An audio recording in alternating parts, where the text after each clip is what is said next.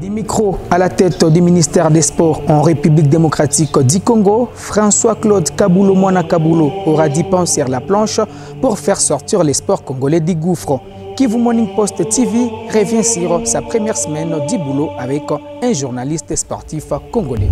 Non mais un ministre connaît ses responsabilités parce que l'expérience qu'il a c'est en journalisme mais pas en politique. Je ne crois pas que ça puisse être possible.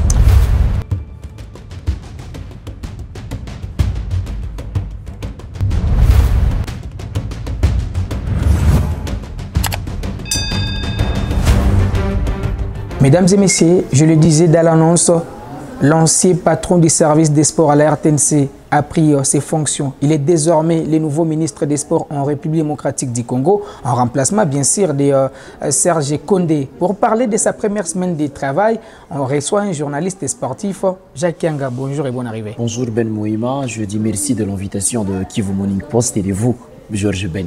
Alors, euh, Kaboulou a pris ses fonctions. Quelles sont vos impressions pour surtout la première semaine de travail?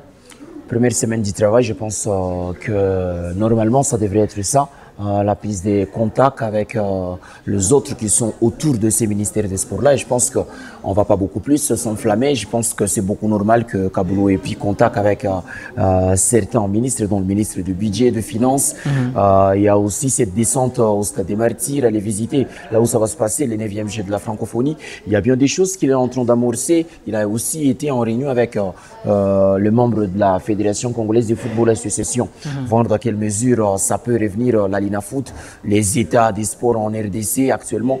Il y a beaucoup de choses qu'il est en train de faire et je pense qu'actuellement on ne va pas s'enflammer. C'est beaucoup plus normal quand on vient sur un poste prendre contact avec son environnement et c'est ce qu'il est en train de faire dans sa première semaine. Alors, euh, il a eu un tête-à-tête avec euh, la Fédération congolaise de football association, la commission de gestion de la Lina Foot, euh, pour parler du retour du championnat national de la Lina Foot. Il y a l'ancienne formule qui est envisagée. Est-ce que cette idée va permettre à ces championnats d'être réguliers? Ces systèmes-là, je pense que ça peut être régulier, mais moi j'en dis, Bon, la Réunion, ça va, on peut parler du retour de cette édition de la Ligue Foot, on peut aussi parler de peut-être les saisons à venir avec euh, cet ancien système. Mais moi, j'en dis déjà pour euh, cette saison, je reste sceptique quant à ce qui concerne euh, le retour de la Ligue Foot, à regarder le temps record qui reste, avec toute une phase aller d'abord qui reste à finir et la phase retour. Est-ce que ça va Il a promis d'accorder une dérogation à la Ligue Foot. Non, même s'il a accordé une dérogation, il y a aussi un moment où la CAF met pression pour envoyer les équipes qui sont qualifiées aux interclubs. Comment on fait? Alors moi, j'en dis qu'on est un peu sceptique pour ce qui concerne le retour de cette édition, même si on croise les doigts, c'est encore possible, ça peut revenir. Et pour ce qui concerne déjà l'ancien système de faire jouer la Ligue Foot en phase zonale, et peut-être envisager en play-off pour les équipes qui seront qualifiées pour ces phases. Je pense que ça peut être bien parce que ce qui a toujours eu comme quoi que ça a toujours été le flux aérien, le transport pour les clubs qui sont engagés en Ligue Foot. Mhm. Alors si on revenait à l'ancien système, faire jouer des équipes comme si on devrait prendre cette zone ici, Dauphin, Bukavu par exemple, Étoile Kivu, Maniema Union, peut-être certaines équipes de la zone Est qui jouent ici, d'autres qui peuvent jouer à Lubumbashi, Kinshasa. Je pense que ça, ça, ça, ça viendrait tant soit peu, bien sûr, déjà venir euh, alléger cette euh, tâche à certaines équipes qui ont du mal à, se déplacer. Et ça va faciliter parce que les équipes qui se sont qualifiées pour la phase de playoff, mhm. moi je pense que ce sont des équipes qui sont à même de se déplacer, de mettre euh, du paquet pour aller jusqu'à la fin de la compétition. Ça peut être bien envisager les retours de cette formule, mais pour ce qui concerne la reprise de cette édition, peut-être finir la phase aller. Mais aller, phase aller, phase retour, je ne crois pas que ça puisse être possible. Alors, euh, il, a, il, a, visité également les stades euh, des martyrs aux côtés du, euh, ministre des Finances, Nicolas Kazadi, pour s'enquérir, bien sûr, des travaux de, réhabilitation de, de, ces stades, qui n'est toujours pas homologué par la Confédération africaine de football pour pour recevoir des rencontres. Voilà pourquoi des équipes de la RDC ont évolué en dehors de Kinshasa pour les interclubs de la CAF. Est-ce que c'était une urgence pour Kaboulou? Moi, je pense que c'est une urgence. Aujourd'hui, quand on parle du sport, on a le football qui est comme une vitrine qui vend tous les sports de, de la République. C'est pas pour rien qu'on dit que le football, c'est le sport roi.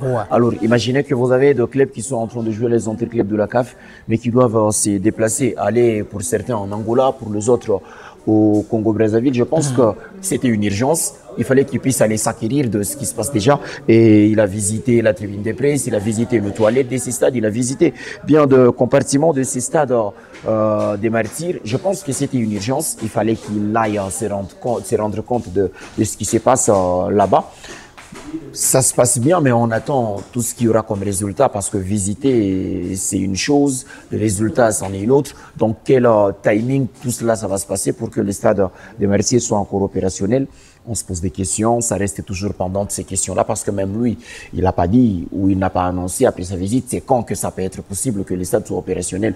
Alors on croise les doigts, mais je pense que ce qu'il est en train de faire actuellement, c'est déjà la base il fallait qu'il puisse aller déjà se rendre compte de tout ce qui se passe parce que l'ancien ministre Sergent Condé, c'était les grands chantiers peut-être qu'il avait, la réhabilitation du stade des Alors si on devait continuer sur cette lancée, je trouve logique que lui puisse aller euh, voir comment est-ce que ça évolue cette euh, euh, rénovation du stade des Martyrs.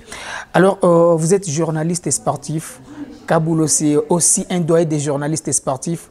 Vous avez un message particulier? À ces ministres des Sports Un message particulier, est-ce que je peux en avoir? Moi, je me dis déjà que c'est bien parce que euh, il a été sur beaucoup de fronts et il connaît euh, le rouage du sport en RDC. Euh, le message que je, je, je, dois donner, c'est quoi? Non mais un ministre connaît ses responsabilités, que mhm. juste il puisse bien jouer son rôle, qu'il puisse bien faire en sorte que le football en RDC puisse reprendre sa superbe, qu'il fasse à ce que déjà les sports de la RDC puissent avoir un peu du respect sur le niveau continental parce que deux fois ça peut aussi passer par les ministères des Sports. Euh, cette complicité qui peut y avoir entre le ministre des Sports et tout cela qui l'entoure parce que ça a été un moment de quoi qu'on le voit, conflit, ministère, fédération on devrait éviter cela et pour répartir sur de bonnes bases. Mais je pense que lui, il a beaucoup d'expérience. On espère bien que, parce que l'expérience qu'il a, c'est en journalisme, mais pas en politique euh, mhm. euh des sports. Le ministère, c'est aussi un poste euh, qui fait allusion à la politique. Mhm. Alors, est-ce que la politique ne va pas venir enfreindre à tout ce qu'il aura comme, euh, euh comme euh, comme déjà envie et ambition? Alors ça, c'est des questions. Quand on est journaliste, facile, on peut décrier, facile, on peut dire, c'est comme ça que ça devrait se faire. Mais quand on est ministre, c'est une autre vie. Et je pense qu'il doit s'adapter. Il y a des choses qui vont venir s'ajouter à ce que lui, il pensait. Alors moi, je ne sais pas si ça va être possible qu'il fasse tout ce qu'il pensait, parce que déjà, journalisme et ministère des Sports, c'est beaucoup plus différent. Mais on croise les doigts, on espère bien que Kaboulou aura euh, à cœur de redorer encore l'image des sports en RDC. Ah, pour finir, une première semaine consacrée uniquement au football, ne craignez-vous pas un ministère euh, oublier certaines disciplines non, je ne crains pas que le ministère va oublier certaines disciplines parce que euh, pour sa visite euh, déjà de, euh, de, de, du G8, il est, il est parti voir aussi le Palais des Sports qui va abriter la 9e édition des Jeux de la francophonie. Et dans ce sens, je pense qu'il n'a pas oublié d'autres disciplines.